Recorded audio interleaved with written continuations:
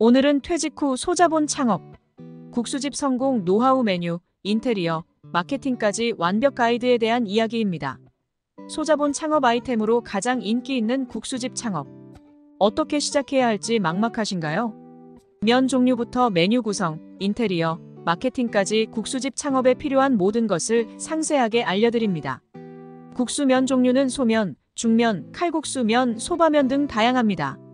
각 면의 특징을 살려 비빔국수, 잔치국수, 칼국수, 냉소바 등 다양한 국수 메뉴를 개발할 수 있습니다. 소면 얇고 부드러워 비빔국수에 주로 사용됩니다. 매콤한 양념과 어울려 남녀노소 누구나 좋아하는 메뉴입니다. 중면 쫄깃한 식감이 일품인 잔치국수에 적합합니다. 멸치 육수와의 조화가 환상적입니다. 칼국수 면 넓고 두꺼워 칼국수에 주로 사용됩니다. 김치와 함께 끓여 먹으면 속이 든든합니다. 소바면 메밀의 구수한 향이 일품인 소바에 사용됩니다. 여름철 시원하게 즐기기 좋은 메뉴입니다. 국수집 메뉴 구성은 성공적인 창업을 위한 핵심 요소입니다. 기본적인 국수 메뉴 외에도 다양한 사이드 메뉴를 추가하여 고객의 선택의 폭을 넓혀보세요. 시즌 메뉴 계절에 맞는 메뉴 개발로 고객의 입맛을 사로잡을 수 있습니다. 예를 들어 여름에는 냉국수와 콩국수, 겨울에는 칼국수와 잔치국수를 판매할 수 있습니다. 퓨전 메뉴 국수에 다양한 재료를 첨가하여 새로운 맛을 창출할 수 있습니다. 예를 들어 크림 국수, 매운 볶음 국수 등 트렌디한 메뉴를 개발해 보세요. 국수집 인테리어는 고객의 만족도를 높이는 중요한 요소입니다. 아늑하고 편안한 분위기를 연출하여 고객들이 편안하게 식사를 즐길 수 있도록 해야 합니다.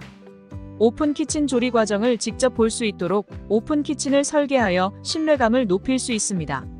자연 채광 최대한 많은 자연 채광을 활용하여 밝고 쾌적한 분위기를 연출할 수 있습니다. 테이블 간 간격 테이블 간 간격을 충분히 확보하여 프라이빗한 공간을 제공할 수 있습니다. 국수집 창업 비용을 줄이기 위해서는 재료비 절감과 인건비 절감에 신경 써야 합니다. 단체 구매를 통해 재료비를 절감하고 셀프 서비스를 도입하여 인건비를 절감할 수 있습니다. 제철 식재료 활용 제철 식재료를 활용하여 신선한 맛을 유지하면서 비용을 절감할 수 있습니다. 메뉴 간소화 메뉴를 간소화하여 재료 관리를 효율적으로 할 수 있습니다. 포장 판매 포장 판매를 활성화하여 매출을 증대시킬 수 있습니다. 5.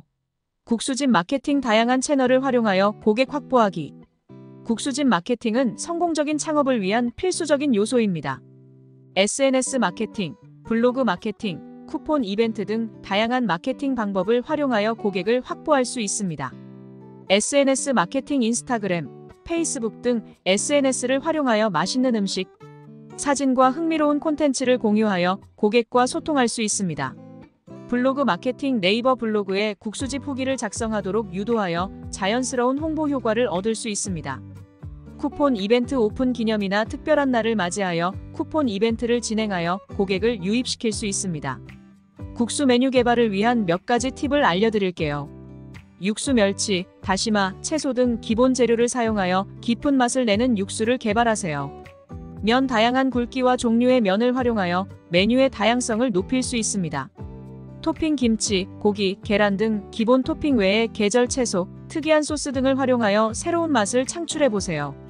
매운맛 매운맛을 좋아하는 고객을 위한 매운 육수나 매콤한 양념을 활용한 메뉴를 개발해 보세요.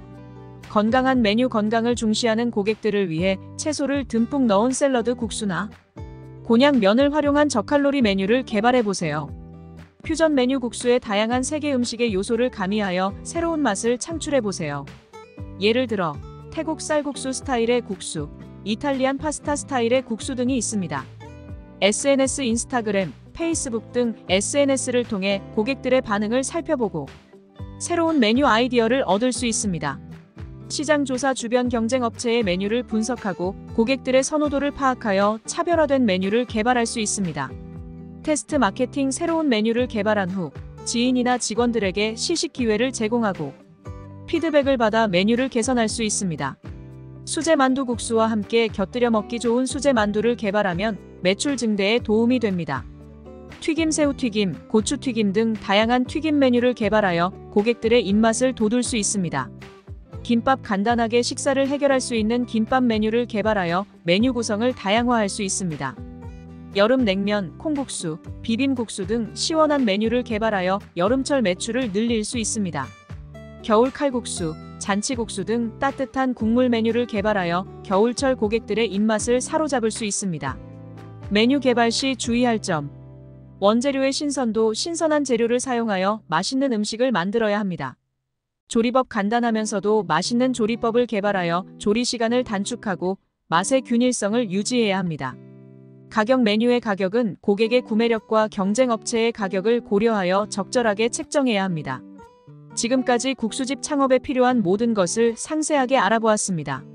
면 종류 선택부터 메뉴 구성, 인테리어, 마케팅까지 다양한 정보를 통해 성공적인 국수집을 운영하기 위한 기반을 다졌습니다. 국수집 창업의 핵심은 바로 고객 만족입니다. 맛있는 음식은 기본이고 고객의 다양한 취향과 니즈를 충족시키는 메뉴를 개발해야 합니다. 또한 끊임없는 연구와 노력을 통해 새로운 메뉴를 개발하고 시대의 흐름에 맞춰 메뉴를 개선해 나가야 합니다. 오늘은 여기까지입니다. 소바 강사 키리안이었습니다. 감사합니다.